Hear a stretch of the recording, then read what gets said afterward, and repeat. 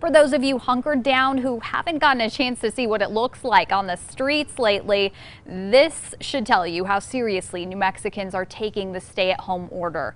This is a shot of lead coming into downtown at 830 this morning, usually the heart of rush hour. Our station is down here so we can tell you at that time there's usually a steady stream of cars, but these days it's more like a ghost town.